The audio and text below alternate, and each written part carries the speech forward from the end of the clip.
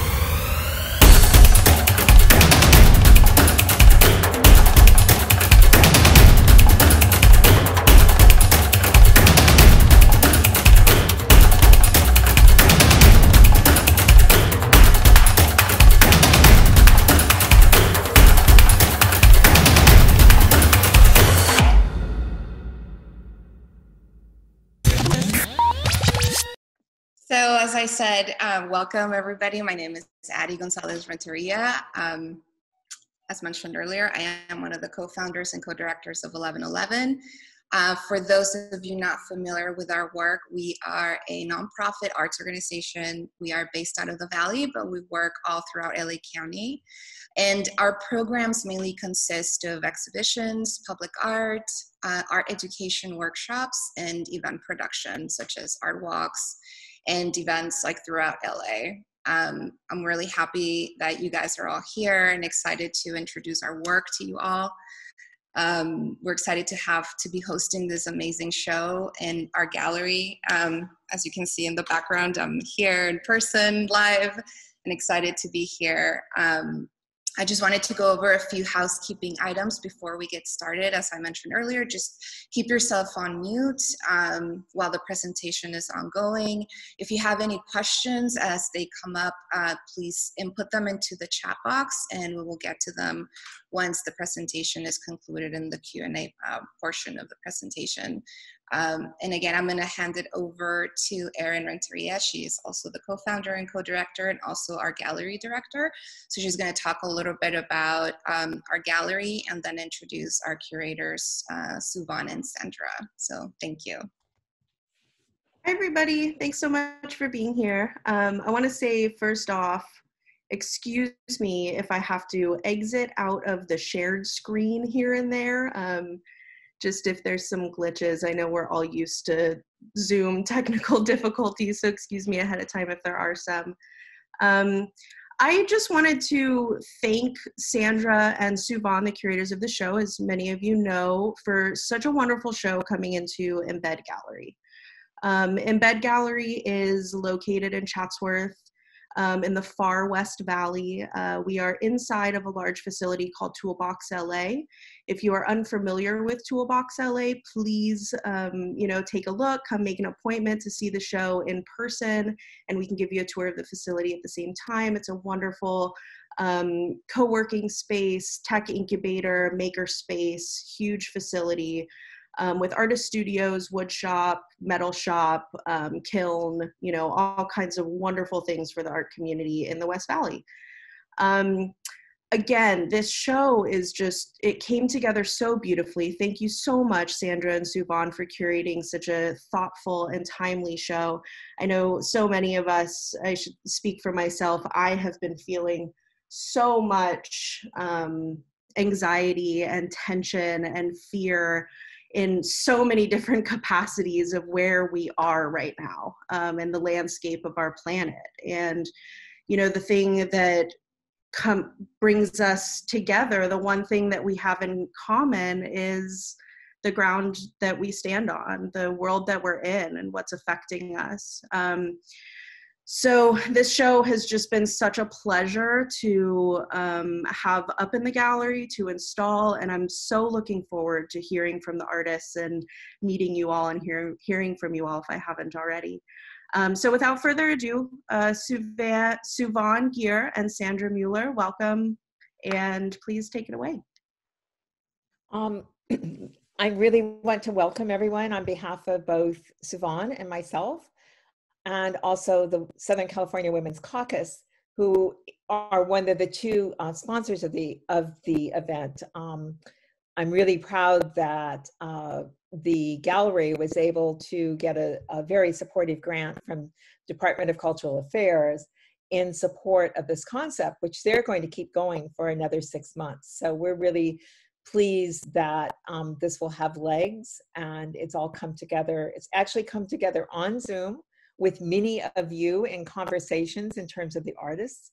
Um, and you know, it had we had our stop, and then we did a check-in to see if everyone was good to go, if we could safely bring work, masked, and all those good things. And the answer was definitely yes. And so, um, just uh, at this point, um, the one other thing I would like to do before we do our land acknowledgement is just say, in terms of the day for the conversations, um, each artist knows this. They will have two minutes um, to talk about their work or to, you know, whatever is coming to mind to them about the exhibition. We're not requiring that they answer the question we might pose to them. Um, and we're sharing the time and it really is this is a wonderful show that that Suvan will give you a little bit more of an overview on the premise but it just we we really set aside the categories. Often there's an environmental show that just fo- focuses on the environmental works. There's shows that focus on identity. There are shows that focus that are abstract. In this instance we really brought all them together because it is the nature of the topic. So, without further ado, and to really ground us in the space where we are today, I'd like to introduce Pamela J. Peters to give our land acknowledgement.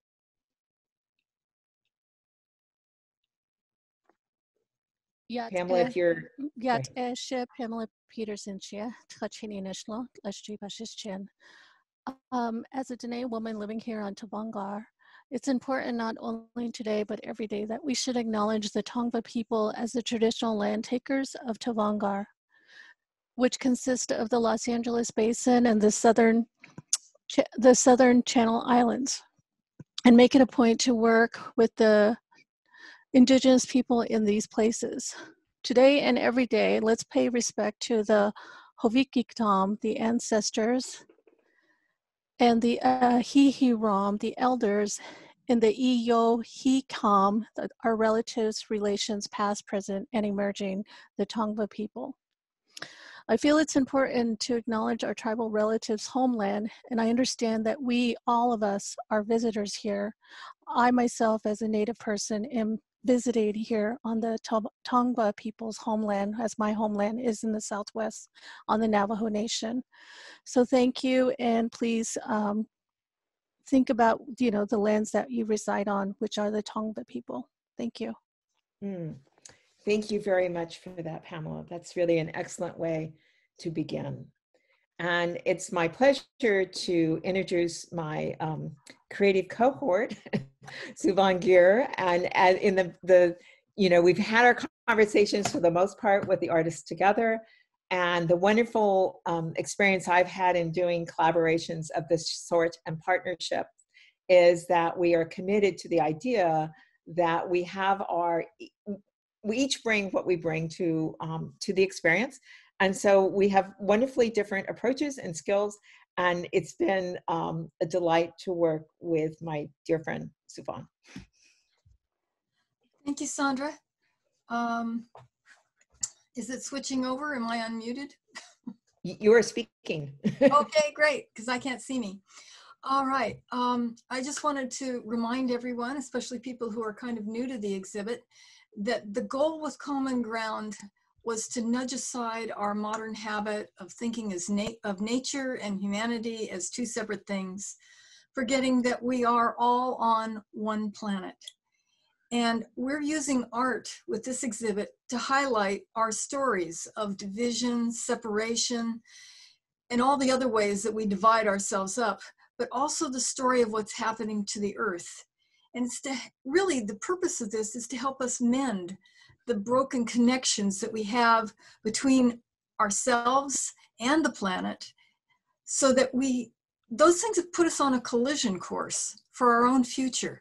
And our hope is that more exchanges where we keep the big picture in mind might help people actually keep in mind one another and the larger good for seven generations and more.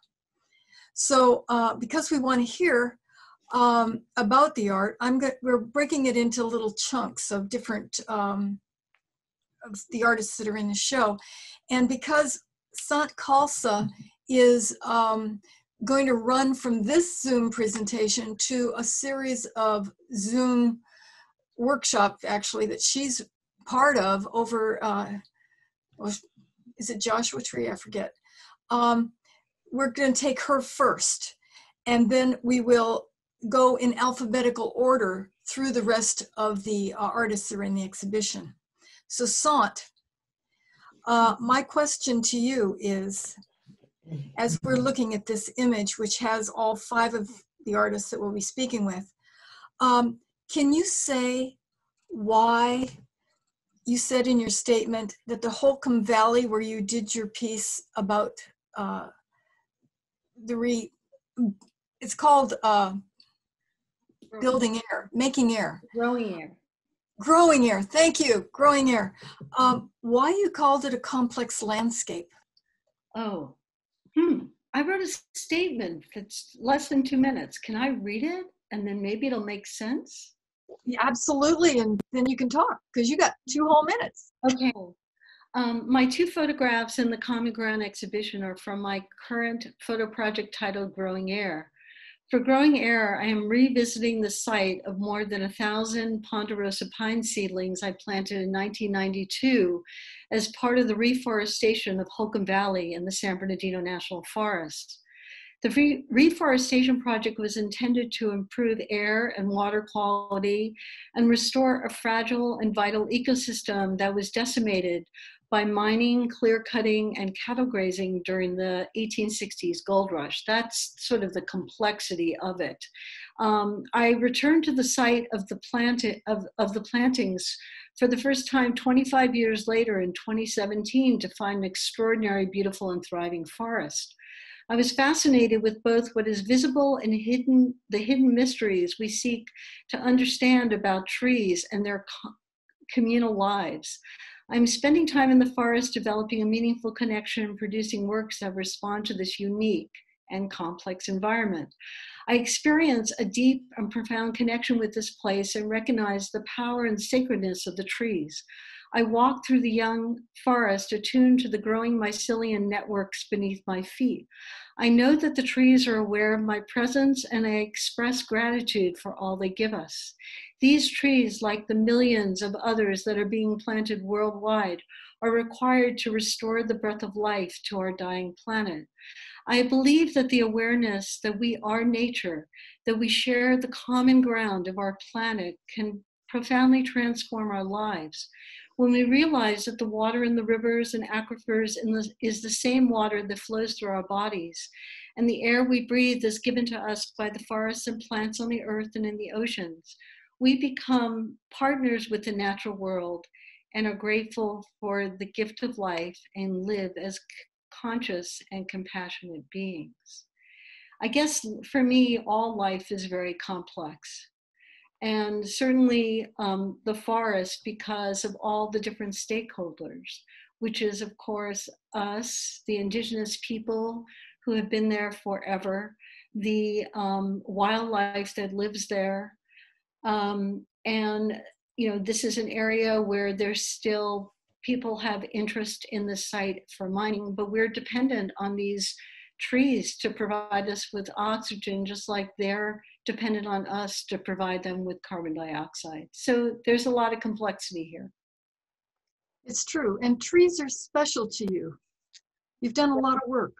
Yeah, I've done a lot of work. Uh, actually, uh, Kim Abeles, who's in the show, and and with my work next to her, which makes me so happy, was actually the person who inspired me to move in that direction through an exhibition she curated in '92 called "Smog: A Matter of Life and Breath," and that's actually what um, got me planting trees and really thinking about um, the impact of ozone pollution on our forests. So I, I have lots of gratitude for, for Kim and thank you to you, Suvan and, and Sharon for, uh, um, Sandra for inviting me. And uh, I mean, this is such an incredible show and so many amazing artists. And I'm sorry I can't stay for this. I'm in the middle of teaching a workshop.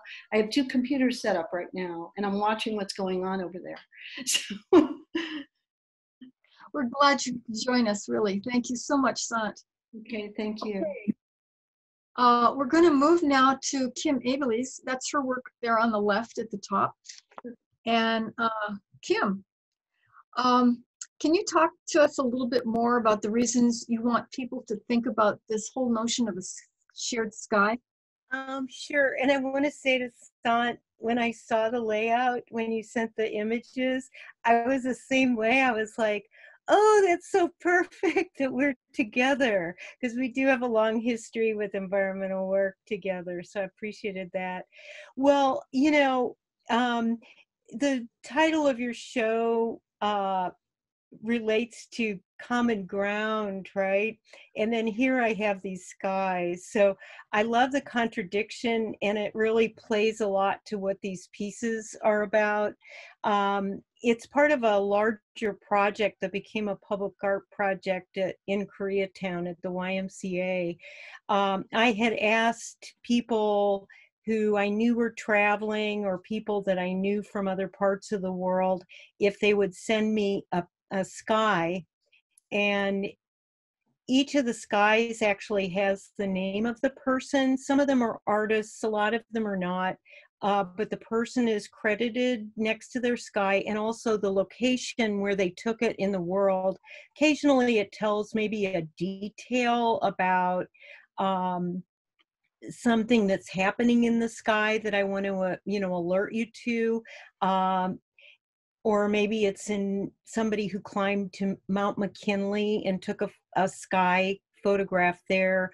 Uh, the thing is, you know, the sky is the thing we do share, thus the name Shared Skies. Um, and because I've listed the geographical locations, I really would like the viewer to think about this idea how we um, separate land by these boundaries and yet the sky is really the seamless idea around the globe. And so, in a lot of ways, I see this piece as really breaking those geographical disconnects that we have. You know, this uh, intense nationalism that is, you know, running rampant around the world. Um, that's in in such um, a different attitude than the idea that the sky with its if it's clear, if it's polluted, it is really all related to us. Because after all, when pollution happens in one part of the world, it doesn't just stay there, it travels through the winds uh, and the currents. So, um, anyway, I, I, will also add to this that um, this was really, uh, from my point of view, this project a um, community-based work so that anytime somebody gave me a sky, what I did was I gave them a print that had 12 other skies and their own in the print. So those were then sent to the people so that they were always connected with 12 people they had never met before within that artwork. And I have to say, I'm lucky enough to be one of the people who received a print, and I love it. It, it is a wonderful way to connect with other people through art around the world. And you have a project right now that you're doing in your workshop that also connects people around the world. It's part of why you do this, I think.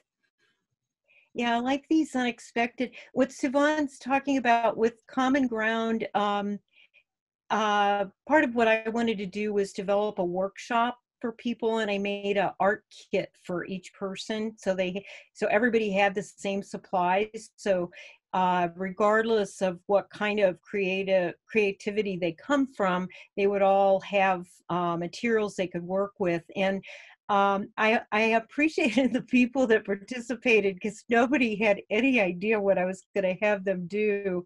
And uh, I one thing that everyone is doing, um, either I have connected them or they have connected on their own uh, someone who is geographically on the other side of the earth from them and through because of zoom and or skype or any of these ways we can connect they're going to interview the person for about 20 minutes and then do a portrait of them.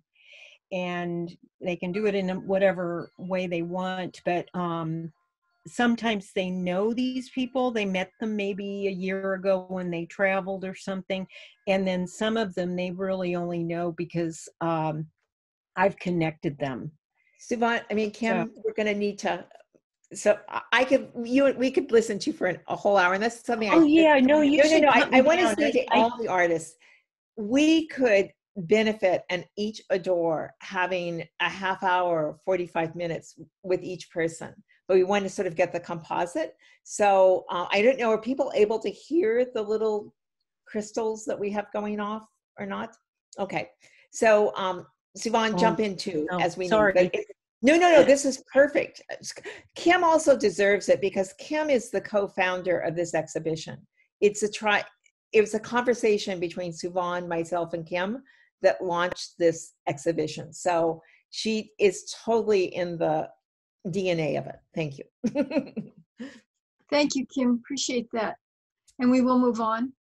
Uh, our next artist is Mariona Barkus. She, her work is be directly below Kim's in this image.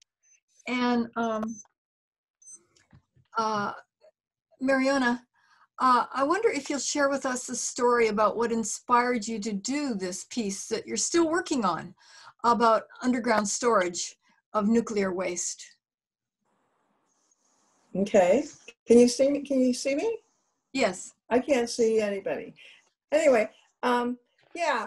So basically, yes. Thank. Before I start, I want to say um, thanks to everybody, and what a great show, and and I really appreciate being part of it. Uh, yeah. So what happened? I'm this this image, this the print in it is part of my ongoing series called Illustrated History, which I've been working on since like 1981, and it's a, a ongoing contemporary chronicle of of issues that I think have an impact for the future. So, um, and I, I read the newspapers and I clip and I save and I try to figure out what is going to be a future problem. Uh, so I came across this article um, about the Yucca Mountain nuclear repository, uh, actually a nuclear dump, and they were looking for an image that um, could be read by future civilizations like um, uh, hundreds of thousands of years into the future because that's the, the life of these, this nuclear waste. So I thought about that and I thought, well, that really belongs to my illustrated history. And I thought, what would be a perfect um, thing that would communicate with future generations? And I thought, well, the, uh, the society and everything will be so different, languages, everything will be different, but we will still be humans and we'll have certain bodily functions. So I came upon the idea of a giant turd as an image. And actually I sent off to the to the people who were organizing this and, and I never heard back from them. Um, so once I got that turd, I also had a file full of, of uh, clippings about nuclear waste um, that I've been keeping since like 1988. And I um, thought, well, oh, perfect, I'll make some new uh, toilet paper and I'll encapsulate the um, articles that I have, the clippings about nuclear waste, um, in this glassine and then perforate it and it'll look exactly like toilet paper. And so I began to collect and I've collected since then. And actually for this show, I added on the last uh, 15 years that I had been clipping and um, added onto the glassine, encapsulated in a way that kind of mimics the idea of, of encapsulating this nuclear waste. And I want to point out that um, this giant turd image, my turd image, was in 1995, which predated the uh, smiley little turd that you have on your cell phone. so, as usual, I was ahead of the time, of my time. Thank you, Mariona. Appreciate that. That's good. nice to be able to laugh at some of our most frightening things. Okay, our next artist is um, Mary, uh, excuse me, is Sharon Barnes. Um, hers is the passport piece that you see in the middle at the bottom row, uh, and, and next to it is an open image from the same work. Um, Sharon, can you talk to us about this very personal connection that you have that made you create this work? Well, thank you, Suvan. Actually, it's the piece um, at the top on the right. What did I do? Mix the artist. Oh, yes, I'm so sorry. Uh, yes. Well, if you're going to screw up, screw up in the beginning. Thank you. That's quite okay. Uh, thank you for uh, inviting me to show in common ground. It's certainly um, an important topic. And the piece up at the, the right hand is called Milkman's Flight. And it is uh, gleaned from a novel by Toni Morrison uh, called Song of Solomon. And in it, there's a character called uh, Milkman. And he's a very conflicted character, partly because he had lost uh, ancestral memory and connections to uh, knowing his father's names. It was something really interesting because, as I said upon, upon uh, doing my own gene, gene, gene, genealogy and finding my forefathers' names, how grounded I felt once I had discovered them. And I think of displacement, uh, the violence of displacement from original lands and the loss of ancestral uh, memories have been so important to be regained. And the figure is flying uh, because uh, of West African folklore that Africans could fly. And uh, finding my own flying Africans was important for me to find ground. And I think that in understanding that we individually need to find our own ground and our connections to earth and place uh, are important as we seek to buy, build um, common ground with others. Uh, because it's in that shared understanding and compassion that we're able to find those connections with each other. That's beautiful. Thank you very much. Um, and this piece is made of such interesting materials as well. Uh, was that part of what you're thinking? Yes, it's it's made of tar paper, and I've been working with tar paper uh, for the metaphors that it uh, it it leads, and it's a very lightweight material that um, you know when you make it for a suspended work, it kind of lends itself both uh, in reality.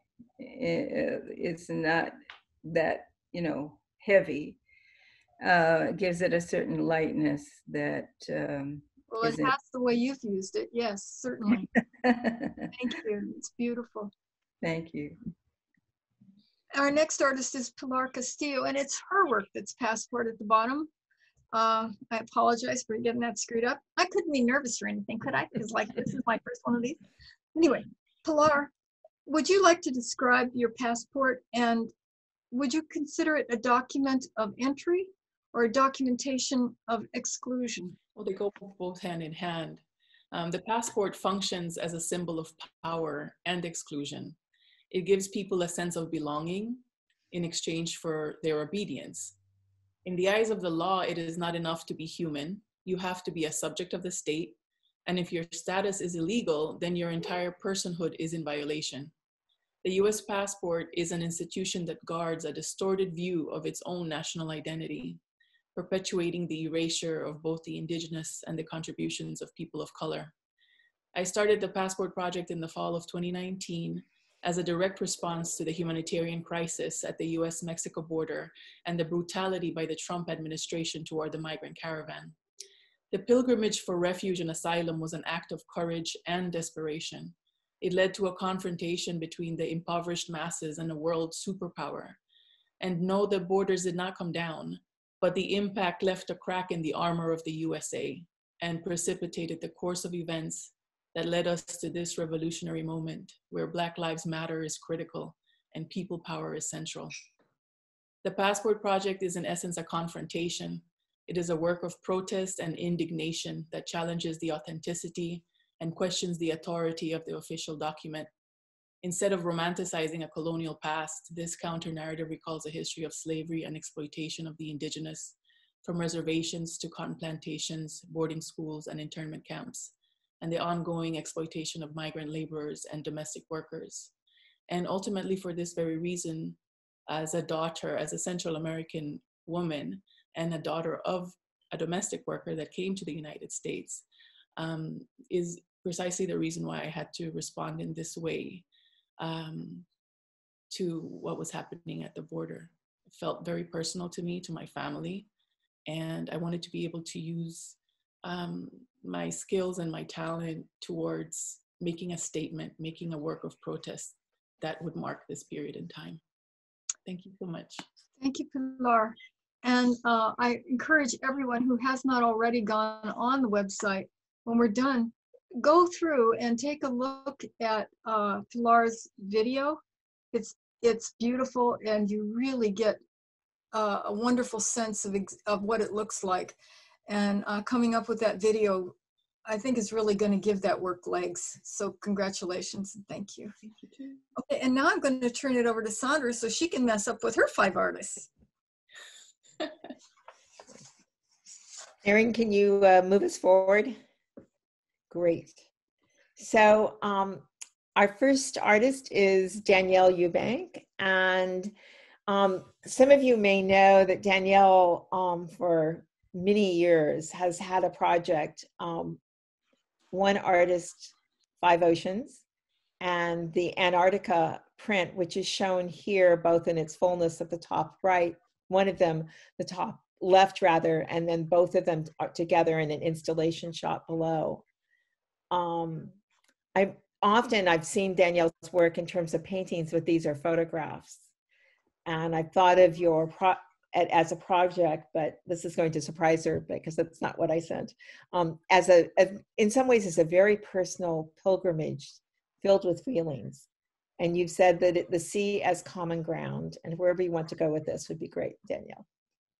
Thank you. Yeah, and I uh, reiterate what some of the other people have said. I am so excited and so honored to be part of this exhibition. Thank you. It's very a very very important topic, and I love hearing everybody's views. I'm really enjoying hearing you all. Um, yeah, the the ocean is absolutely a common ground shared amongst all really all living things. I mean, when we were kids we were taught that, or we learned that the ocean is 70% of the earth, right?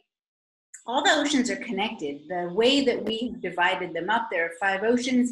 It's sort of arbitrary and it's, it's um, uh, something that's been debated and argued about a lot of times, but there's no denying that all of these giant bodies of water are connected. And as we are connected, it is something that is common amongst all of us. Did you know that the ocean produces over half of the world's oxygen? Right? So it isn't just humans, it's all living things. Um, even those people who are not anywhere near the ocean are hugely affected by the ocean or the sea. Right? Um, we use the sea for to create products that fight cancer.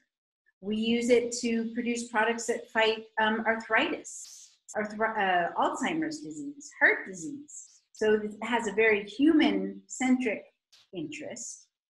Additionally, just in this country alone, did you know that our US ocean economy produces, uh, this is a number I can't even get my head around, $282 billion in goods and services. So that takes it way beyond being an environmental thing and into something that's just good for everybody. The US ocean uh, dependent businesses employ 3 million people. So tell that to your Congress people, right? And that's just this country.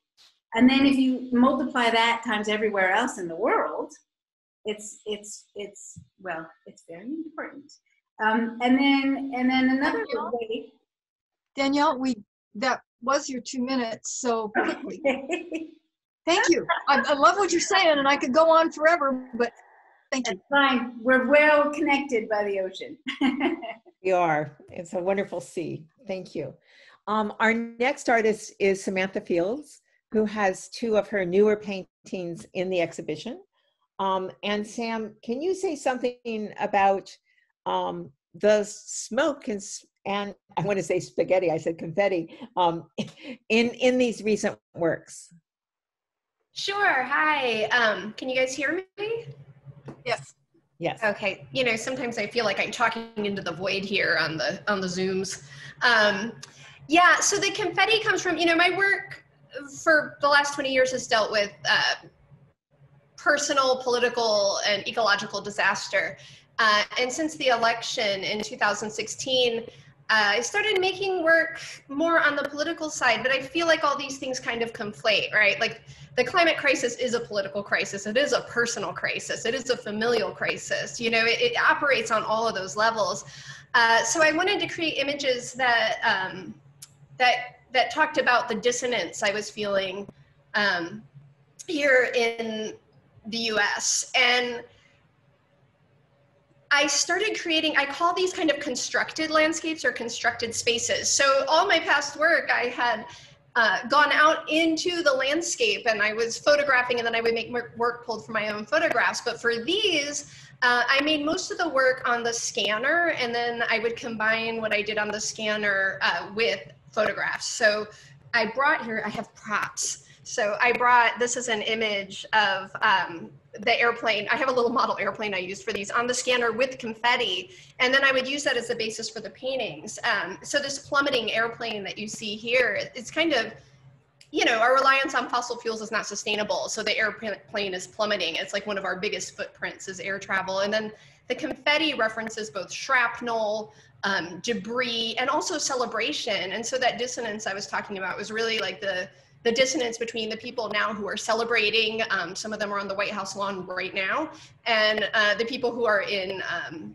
in crisis and in revolution and working towards a better world. So that's really where this work all came from. It's part of a larger series uh, called American Dreams. That's kind of about the the collapse of that construct. So that's where all of this came from. But the confetti is I use real confetti for it, so it's all over the studio. it's a mess. That's great. You have a bit, a, a- bit of scattered ground there. That's great. Very cool. So our, our next artist is um, Eloisa Guanlao. It's the beautiful canoe that you'll see in the two installation shots. And it's made of rice paper. And I'm wondering, it's a very strong vessel as metaphor. And I'd really love to have her, and, and yet it's very fragile. And I'd really love to have her speak on, you know, this fragility and yet its strength as a both a, a metaphor and where it stands for her, for her in her own series of artworks. Thank you for that question, Sandra.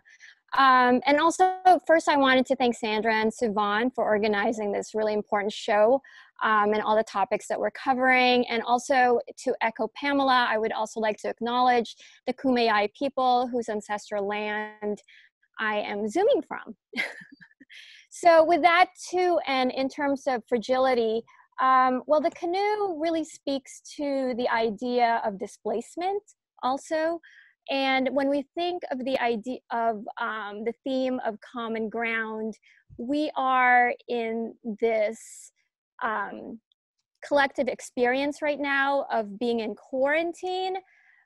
And that's our common ground. But at the same time, that common ground has its inequities, you know, um, where people are displaced politically, economically, and socially in terms of where you are in the social and ec- economic chain of the United States. So, but going back to the theme of the canoe and the idea of displacement and um, fragility, I look at um, the colonial context of um, where I am now and where people are living um, on island nations and also, um, you know, indigenous peoples. And um, so Sandra was talking about metaphor. The canoe is a metaphor for that kind of displacement and also fragility of home uh, in terms of um, rising sea waters and all of that and also the fragility of um, materials you know of the materials that we own. Right now i said that i recognize the kumeyaay people and we're renting this beach house that is supposedly owned by someone right? But once upon a time the kumeyaay thrived and had families here and now they've been displaced and mostly forgotten by the people who live here now.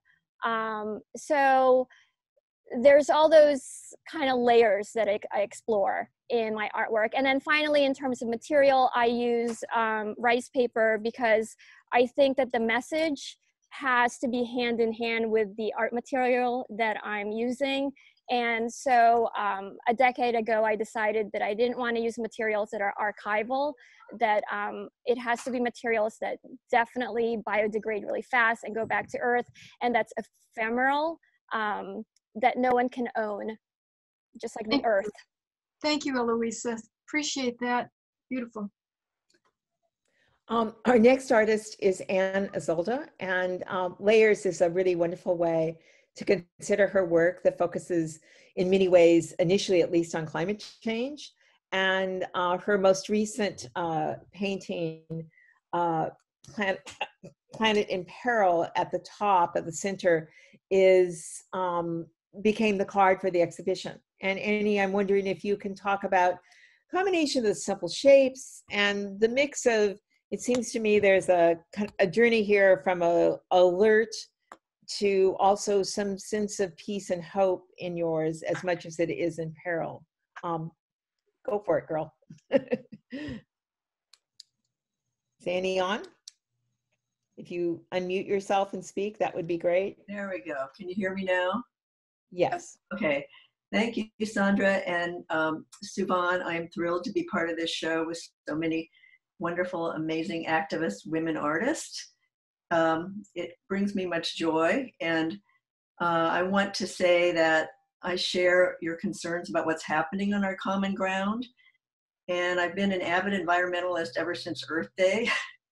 and I want to give a shout out to the SCWCA Eco Art Collective that I was a member of for like over, we put on four exhibitions over a period of time, and they were inspirational in me going in this direction. Um, and so the, the, the painting below I did in 2009 because I was getting very concerned about you know the water rising and the planet heating up and the green in the middle is a pressed paint that represents the earth that's still trying to struggling to survive in spite of all this it's like a house within a house. And the smaller house is the is the earth but the bigger house is the industrial military complex that's got uh, silver and, and concrete things like that. And but I, I placed it in an environment that's cos that's the, in the cosmos where there's the sun and the moon and then that, that the cosmos is a cathedral because we uh, have been allowed to, to live on this planet which is a, an incredible jewel. There may not be any other one like it. And so um, I finished that painting. And then when this show came around, I started this other painting, but I didn't get it done for a show it was supposed to be in. And I thought, I'm going to just work on it. And uh, the thing that was really interesting was it started out a certain way. And then the painting started telling me, no, no, no, no, you got to do that. Like the green, there was not green in the background, but I had to when I put the COVID images in, I had to, you know, cover up some mistakes. And so I started, I'll just put some green there. And then I, when I put the green there, I went, oh my God, it's the greenhouse gases. And then I was looking, this planet, it has, it's a pressed paint. So it has, the, there's veins on it that are raised that I painted orange. So they look like they're catching on fire. And um, you can touch it and feel the surface. And the, the idea is that is the planet submerging into the ocean? Is the ocean rising to cover up the planet? Um, you know, and, and then above, that strip above, I had painted a red bar and put a blue green uh, glaze on it. And as the glaze dried, it just sort of came up like a curtain. And I thought, oh my God, that blue green is our forest. They, they're a carbon sink. They give us oxygen and the veil is starting to lift and you can see all the fires behind it. So that's Thank you, Ann. yeah, that's Thank it. Appreciate it. Thank you. And we're so glad it's on our announcement. It's a beautiful image. Thank you. Um, Meg Madison, um, this wonderful print that uh, you have created with the plant, with the yucca plant, and with the natural elements um, on a piece of land that you homestead. Could you share sort of both your, your collaboration, literally in making the the the print, but also I think relative to what we're hearing today, your experience as someone who has who has property that has been homesteaded would be really interesting to hear. Meg?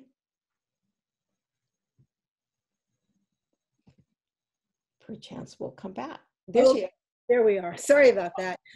Thank you so much. I um, didn't know I was speaking. That's kind of great. Um, thank you, Sandra and Suvan and Erin and anyone else who helped you there at a toolbox and uh, it's a it's a great space and it's i mean i'm there's so many wonderful artists here you know that i know and don't know and it's great to be here with you um you know i really appreciated the you starting with pamela peters um and you know making some kind of reference to the land because it, it is um, that is something I've come to feel very much. I bought a piece of property in the desert, kind of like really on on a on a whim almost. You know, um, um, my mom had died, and she always did kind of crazy things, and I went out to the desert like without my spouse, and you know, bid on something without even telling them, and you know, it's just kind of like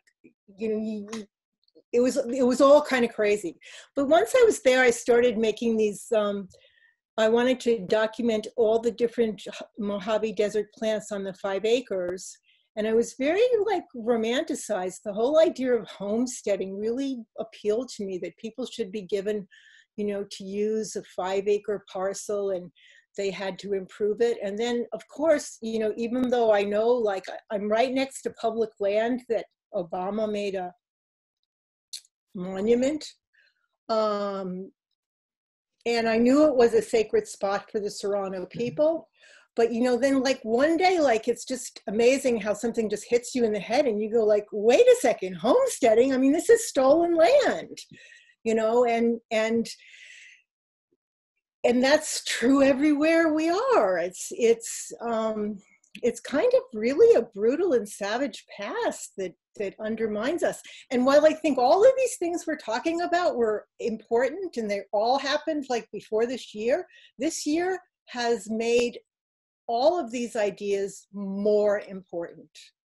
And especially everything about land. How we have any kind of ownership of land that we're not using and taking care of is bizarre and, and the economic fallout from the pandemic and the displaced people. It's just, I mean, everybody's been touching on all the same kind of things. Thank so, you, Meg. That's very good. Thank you very much. Siobhan, go forward. Okay, um, back to me. And the next image. Um, and I really love hearing everybody talk about their work and appreciate all the, the thank yous. But uh, we've got to say ours to you because obviously the show wouldn't exist without your wonderful work. And we're totally grateful to have you uh, as part of our uh, Common Ground exhibition. So uh, the next person up is Kaoru Mansour. And um, she's uh, the image that's in the middle on the far right, the two yellow images stacked, this, can you see them? Okay, Kaoru. Um, I, when you can get, get up close to these, you can actually see that the surface has this aged look, like it's, it's cracked and it's got these lines that go partway across it or they look like start out like telephone lines and then they just sort of break up. And I wonder if you'd talk to us a little bit about the uh, what all that represents to you.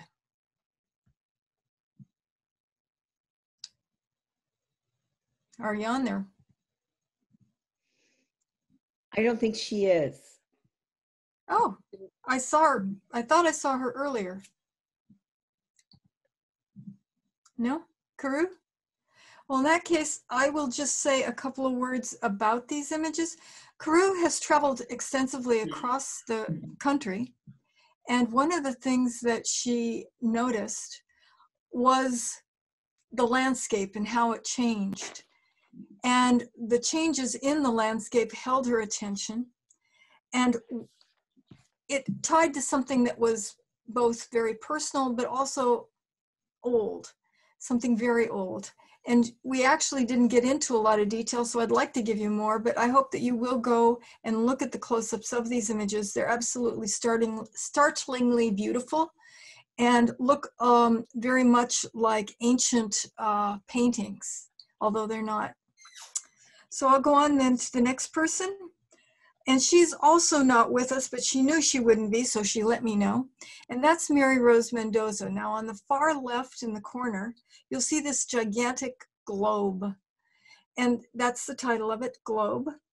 And um, Maryrose is a native of the Philippines.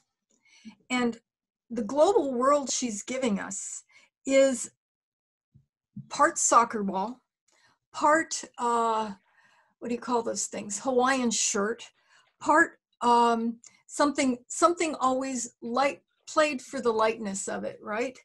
And yet for her this is um, things that have been imported around the world that change uh, change identity and culture. So her piece has a, a two-edged sword and I encourage you to get a chance to read her statement and uh, enjoy the piece because it's really quite amazing. And it's it's large. I mean, we're talking something. What is it like? For me, it would be well above waist high. Okay. Um, next person up is Sandra Mueller. Sandra's is the piece down at the bottom uh, with the three images in it: the two birds and the uh, sweeper. Can you talk to us a little bit about what these figures represent for you, Sandra? Well, um, as you might surmise by the central figure, um, the fellow, the temple sweeper, who is quite wonderful to me that he's clad in a palette uh, to what is actually found in nature.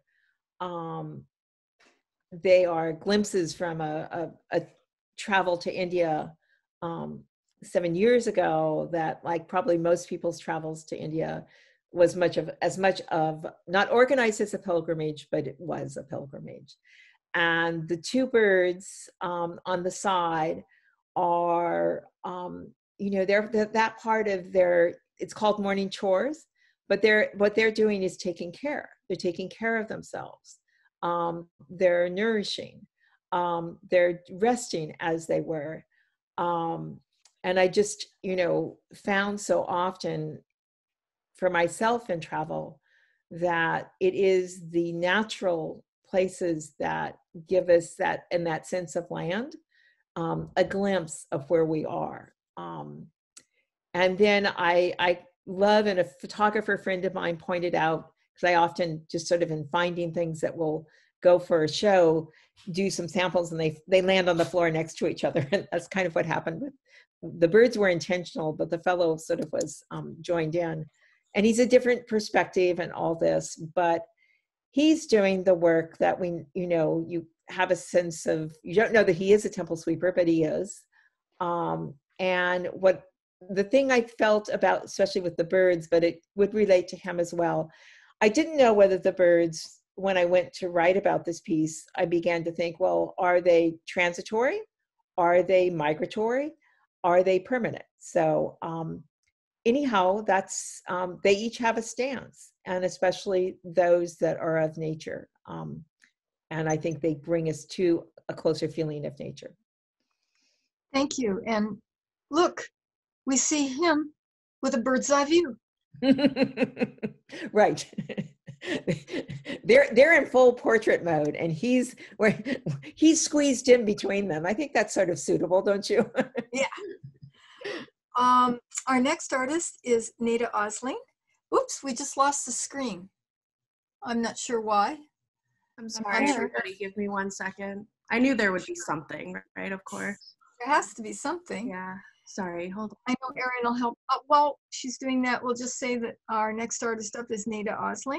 And hers is the uh, Gringotopia image that you saw uh, in the middle of this screen. And once we get it back, uh, we can talk about it. Well, I can go ahead and talk about it anyway. I mean, okay. I don't know that the image actually completely describes the project, but um, um, yeah. So, um, so thank you, everybody. I'm happy to be here. Um, thank you, Suvan and Sandra. Um, I'll just mention the project, and I know you had a question, which was. Um, Anna, go for it. Yeah, okay. So, over a period of two years, I went to Chapala, Mexico, which is about an hour bus ride from Guadalajara. And while I was there, I did video interviews with a total of 25 people, um, and most of whom were expats from the US and Canada. Um, our conversations were they're both serious and humorous um, and they were about certainly cultural borders um, but they focused on on i'll just read some of these things uh, cultural differences motivations for leaving the us who's considered a gringo the meaning of mañana misunderstandings in language economic inequality bargaining tipping safety fear crime guns the cartel mexican justice cross-cultural romance priorities smoking pot the border, value systems, returning to the States, healthcare, dying, and more. Um, and so I collected over 40 hours of material, and from that, I broke the material into sections that are woven together with the pacing of a, of a social conversation. Um, the end project became Gringotopia, which is a series of 12 10 minute videos. Um, and what I found is something that contradicts the internalized myth of America as the best place in the world to live. Um, this particular community, because there's a lot of expats throughout the world, this is known as a retirement um, community for the most part. And a huge motivating factor was economic for people to move there. A lot of people just simply could not afford to live in the United States anymore. And it wasn't just the cost of overall living, but it was most specifically healthcare. Um, and, and a lot of people came from colder climates, so they were just sort of over that experience. Um, but I think more significantly that after they relocated and after the newness of the experience wore off and they weren't on vacation anymore, many of them really began to see the values of the US that focuses on materialism, competition, and rampant um, con- uh, consumerism and, um, uh, and capitalism. They didn't really work for them anymore. Um, and it's a global phenomenon. I think many people of all ages leave the US for a better way of life. Um, I think on an existential level, many people that leave the country, they're un- increasingly uncomfortable with what this country has come to represent to the world. Thank you, Naida. And I just want to let you know that I heard from one person that she watched all of them. all of them. She sat down and watched them all. It's they're beautiful videos. They're really well put together, and I hope everybody will go in and take a look at them. Thanks. Um, our next artist up is I'm Pamela sorry, Pete. Just to confirm real quick, you all can see the screen again, correct? Correct. Okay, wonderful. Thank you. And thank you, Erin, for sorting that out. Um, our next artist is Pamela Peters, and uh, her piece is up at the top on the right, uh, the one that's two black and white photographs. Pamela, um, is there anything special you'd like us to think about? You mentioned the psychological effects of uh, the Native people moving or being um, it's it's actually not the psychological effect of moving it's more of the image that people perceive of us as uh, indigenous native american people but um first of all i just want to say thank you to susan and Suvan and all the organizers along with the other artists who were able to put um, common ground the exhibition together. Um, the two images i have part of the show are from my legacy of exile indians series um, I'm just going to go over a little bit about the series. Um, I know I have two minutes, so I'm going to just jump right into it. Okay, the series gives a glimpse into one of the many cultural, cultural histories of American Indians' migration to metropolitan major cities. This one in particular was structured by the U.S. Bureau of Indian Affairs that was also in, and was also influenced by the 1961 film The Exiles, a neorealism film that documented the realistic imagery of American Indians going through the BIA U.S. government relocation program, and one of the cities was here in Los Angeles, California. All my participants within in the images are from various tribes. There are, there are Navajos, Cherokee, Seminole, Barona bands of Mission Indians, and Lakota. They all have also migrated to the cities off their reservation in the course of their own lives, or a few of them are um, second, second and third generations from families that relocated from the USBIA relocation program from back in 1956. This, this photo film project showcases young adults of today paying tribute to the first generation of relocated Indians from that era. The photos, the photo narratives have many layers and I'll address four critical ones. I'll address only four critical ones for today. Um, first of all, it's time and place. It's the history of American Indians in contemporary times, not in a relic past existence or as our, we are not viewed as objects in order to be objectified. And then the images are how we as a Native Americans are structured visually, visual, visual, visually in historical narratives and in modern attire not as what we have been seeing in Western movies as a relic, one-dimensional object that once again is objectified. And then Los Angeles landscape. I took these images as part of the city that has a deep history of working class migrants that for generation has been pushed further off the sites of downtown Los Angeles who continue and actually when I took these photos um, the city downtown has changed tremendously. It's gone through another different cycle of gentrification in downtown Los Angeles. And then lastly, it's my visual sovereignty as a Navajo photographer. I shoot portraits to create video vignettes of people that illustrate us as multi, dimensional human beings with voices, with modern images. We are not seen as objects and are placed in structured narratives vastly seen of Indians that still continue to be seen today, as you can see in mascots, as you can see in relic storytelling to um, young young kids in school. Um, so that's really what my my work is about. Um, Pamela, I also fantastic. Oh, am I done? You are done. Oh, I'm sorry. Okay. We can keep going, but we probably need okay. to pause if you would. okay. Um, I just want to say, just I just hope this project will help foster a better understanding of who we are, the differences, despite our cultural ties, that we as American Indians have offered an accurate portrayal of Indian life and tribal identity that's that we still sustain, even in an urban city like Los Angeles. Wow. Thank you. Fantastic. Thank you. Last up in this grouping, we have Sheila Pinkel. Sheila's work is the one you see in the left-hand corner. Um, Sheila, uh, can you tell us a little bit about this print, which you call Transformative Justice, and maybe something about your panel discussion on the 21st? Sure. Um, um, thank you so much. This has really been a marvelous experience in every way. Um, this um, image came about because um, for the last 20 years I've been working working on criminal justice um, um, artworks. And um, in the process, have been realizing that there's usually a dichotomy between the criminal and the victim. And, and but when you actually start looking at that subject, um, the, each person has their own story, their own narrative that is crucial um, um, in the process of healing to understand what that is. So I came up with the slogan, every person is a universe, and put it in the context of a universe. Um, and it's really appropriate to go um, after the last speaker because, um, and when I looked at indigenous um, justice systems, transformative justice is integral to those systems where um, somebody calls a, a meeting um, of people who are having problems and so um, the first step is they're working out um, some kind of restitution, which I have on the left. And then um, from that, there's healing, uh, which is at the top.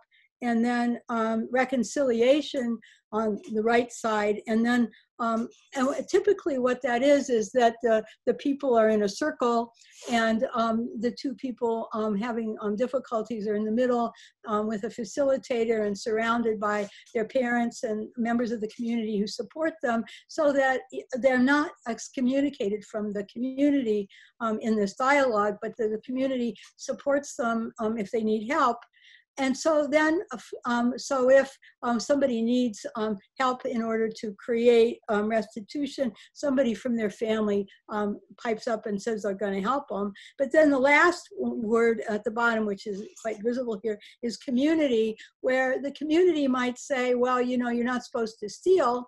However, we as a community know that there are times when people are in need. So what can we do as a community in order to be able to help people so that they don't have to steal. So this is um, my work about transformative justice and, and about um, how to dignify every person um, so that we don't, um, uh, so we create a true community of understanding. Um, um, so I'm having a, a, a, panel discussion in a couple of weeks um, with community leaders who, whose focus is creating community in different ways. This one? Lovely. Thank you, Sheila really good. Now we're, Sandra, it's your turn to take over. Very cool. And there we are. Um, wrong one. Uh, can we have the overall, Erin? Yes, okay, great. Okay. Um, in the upper um, right are two images by Sinan um, Revell and um, they each are part of a series, the Doppel, Doppelganger series. And she has a unique way of spelling this um, when she writes it. But I'm wondering if, uh, Sinan, you can talk about your process. And it's, I think, also with our focus on land, um, the fact that you were newly arrived in the States when this, when you made these. Um, that would be terrific. Oh, thanks. Thanks, Sandra and Suvan, and uh, thank you very much for having me. Um, can you hear me? Yes. Oh, good. Thanks so much for including my work, um, and I'm very um, honored to be part of this uh, wonderful group. Um, I did want to say that doppelganger was has two meanings. The photographs uh, have myself as all the people in it. So that really came from my, um, I guess, my personal background as a um, Taoist Buddhist Chinese. So I wanted to um, put myself in the picture as every person. Um, but first of all, uh, I wanted to say a little bit about my history, which was that I, my family um, uh, escaped from China in, um, and fled to Australia. And um, I've always realized that I could have been one of the many nameless millions of people caught in China. And then when I moved to LA in the 90s, I saw at first hand the, the Rodney King LA riots and um, the disposable attitudes of this very uh, consumer oriented society. And also, um, following that, the Iraq War in 2001. So I created a whole lot of double anger um, portraits because it's uh, one thing to have thoughts and prayers, but as artists, we share the common ground of the earth, the air, the water, fire, all the elements, the five elements. We share the common ground of our ideals and ideas.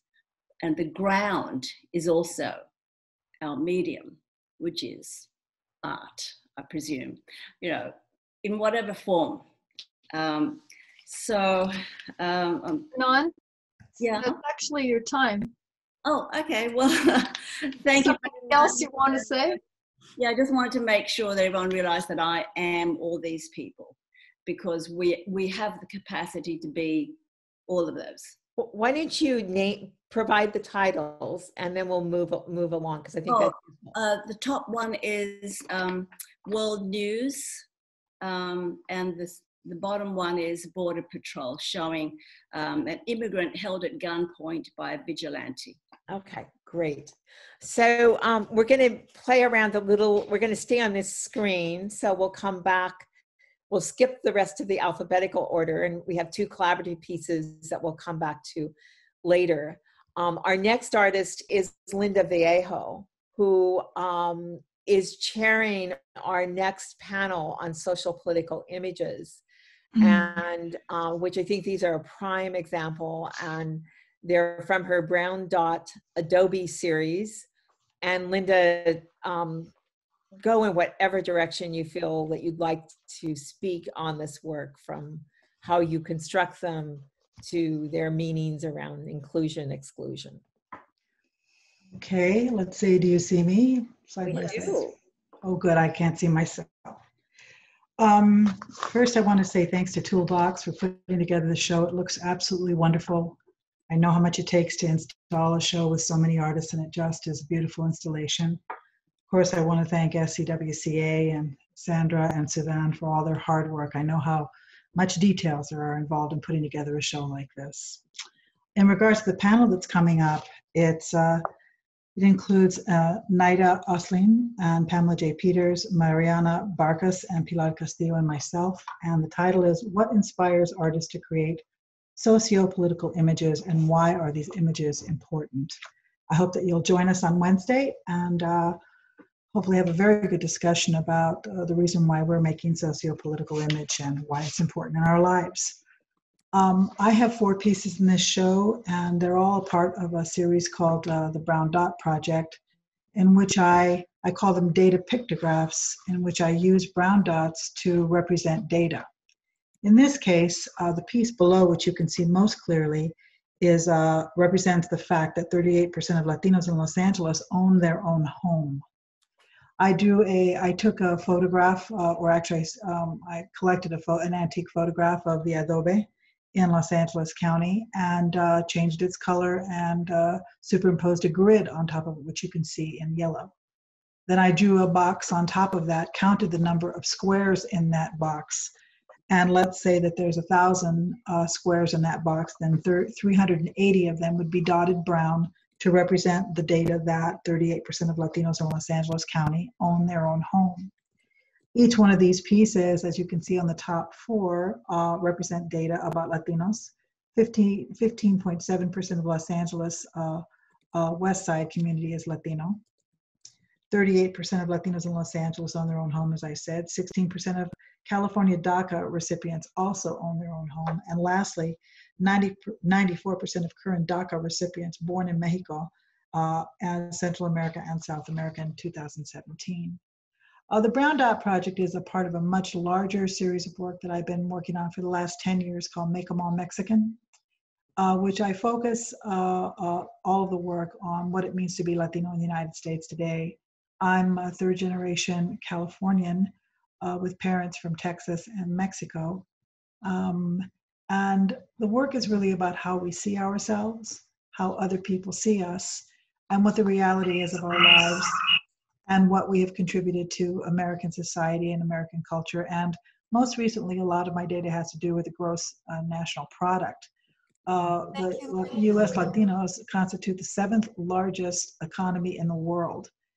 And uh, there's a lot of data that needs to be shared so that we can learn and uh, learn about ourselves, teach other people about who we are, improve our lives, and uh, feel good about some of the contributions that we've made, and also understand some of the challenges that we face and the um, the uh, work that we need to do to be able to get ahead. Thank you, Vicky. That's great. And then the last um, artist that's on this screen, she's um, also another person unable to be here today. Um, it's Gail Werner's work um, that's down in the installation shot, the three wonderful um, bird paintings and prints. Um, and for her, she too is uh, an in, uh, indigenous person and that the animals and birds and plants share the land. um, and they are considered to be people, and their stories of migration parallel the migration of the birds. And it's quite wonderful because right to the left of it also is the uh, Naida's um, uh, Gringatopia for the expats video, um, and then uh, the homestead print from uh, Meg Madison, and then uh, a, a, glimpse of, of my work with the birds. So hers, um, she's an exquisite painter and, um, you know, well worth spending time with um, in either in person or the virtual gallery. So um, Erin, can you cue us to the, the first one, the She Votes, go back one, that would be great. One more. Okay. So um, this is a, uh, a collaborative um, community art project of the Southern California Women's Caucus for Art, organized and created by Bonnie J. Smith, who is with us. And um, it was this exhibition, uh, let me just frame this. We were well aware that 2020, before COVID, was a significant year for women. It was the 100th anniversary of the 19th Amendment. It was the 50th anniversary of Earth Day, and it was we knew it would be an involved election. So this one focuses on that 100th anniversary. Bonnie, would you go forward? Bonnie, are you on? I sure am. Hey, good. I've had the idea of the She Votes book for about 10 years. I presented it to the board of Southern California Women's Caucus for Art and they gave me the green light and I was off and running with my idea. 69 artists gave me 113 original four by six, six artworks and those all arrived through the mail. And the artists at first were expressing their thoughts and feelings about the centennial of the 19th Amendment. What I noticed soon was that some artworks were becoming more about our current political, social justice climate, and specifically to women's rights issues. Once I received all the artworks, they were placed into the altered book in the order they were received by me. The flow of the book demonstrates the progression of social justice thoughts over the five months I received artworks. Many days I would be overwhelmed that so many members answered my call, trusted me with their original art. It has been my honor to create this book for them, as this is our community project. And I just want to thank you for asking to have the book in the exhibit. Well, it's it's very important because it all wraps up to you know, part with common ground as we need to make change and shift, voting is a very key instrument. So that was really an important tie-in. So let's go to Stitch in Time, if we might. Well, before we do, I just wanted to tell Bonnie that that image of uh, Susan B. Anthony, that, that particular uh, image, uh, came to me today from someone who clipped it and sent it to everyone they knew in the Sierra Club's uh, environmental justice group wow. uh, to remind people to vote. Uh, Susan's exact image? No, that postcard. That postcard. Oh. Okay, great. Cool. So we had another, that one had 69 artists from across the country. And this one is a project organized by my co-curator, Suvan Geer, that has um, 24 artists and 30 panels and um, its title is Stitch in Time. Um, Suvan, if you would, you know, speak to us of just a bit of a description, but also make sure you share about the panel that you're hosting um, next Saturday. Um, that would be great. Okay. Um, this is fun. Uh, this got started uh, at the beginning of last of the back in January because um, there was so much going on, but it was all focused around just you know we knew there was going to be uh, an election. We knew that the climate change was going. We knew that we didn't know about the pandemic yet. It hadn't quite hit, but already it felt like there was some kind of social change. And yet, this was the anniversary year of Earth Day. This was the anniversary of women. So I kind of sent out word and I asked women to give me uh, a square. It didn't have to be a square, it could be any size, any shape, that captured what they were feeling uh, going into this year. And we met in a series of uh, Zoom calls it turned into. We were going to do it in galleries and homes and that to have these sort of coffee clutches and little sewing circles. And it turned into something virtual. Uh, but what came out of it were these wonderful images that sort of go to all these things that run through our mind, that go to the uh, the political stuff, that go to the social stuff, that go to all these things. And in this image, I think you can see that uh, in the on the side there. Um, it turned into a crazy quilt, literally a crazy quilt. You've got "Bless This Mess" mess by Nancy Spiller, and um, picture of the White House. You've got the response of one artist, um, uh, Darlene Martin, who said, it's amazing how many worries are lost while gardening because so many found that going into nature was the place that they could be renewed and actually find a little bit of wholeness. Uh, you have um, uh, the portrait of, of the president uh, that he's wearing this sort of mask with pins coming out of it uh, by Anne Golden. Uh, you have, there were so many responses that were all so personal and it's a delight to be able to mount this thing. It's huge, and I, I, really appreciate that we had enough room to be able to do it.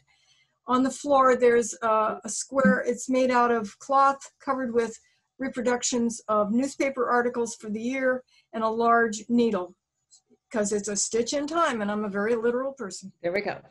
So, do you want to give a little plug for your panel? I'm just going to say that we're going to be talking about uh, um, next Saturday, uh, An Unbalanced World.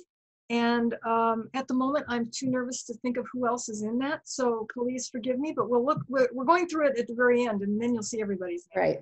Okay. So this, is this is really super. This um, concludes our formal tour. I'm thinking, Suvan, maybe what we do is we get the heads up from Erin on how to visit the gallery. And if there's time to hang a little at the end, we can do that, but let's make sure we stay reasonably on folk time. Does that seem all right for you? Suvan? Oh, I'm sorry. I thought you were talking to Erin. That's yeah, that's fine. yeah, Erin, why did the the Erin? Why don't you give us the uh, way to uh, bring us into the digital world that we can navigate the um, the online installation that you've made? Okay. Um, give me one second here. First of all, thank you everybody so, so, so, so, so much for speaking. It's amazing to hear from all of you artists. Um, and thank you to everybody who joined us. It is, I'm gonna take this minute because I have, I, I stopped the share screen and I have everybody on gallery view to take a picture of everybody. Is that, is that okay to do in this moment? Please. Um, on three, one, two, three. One, two, three.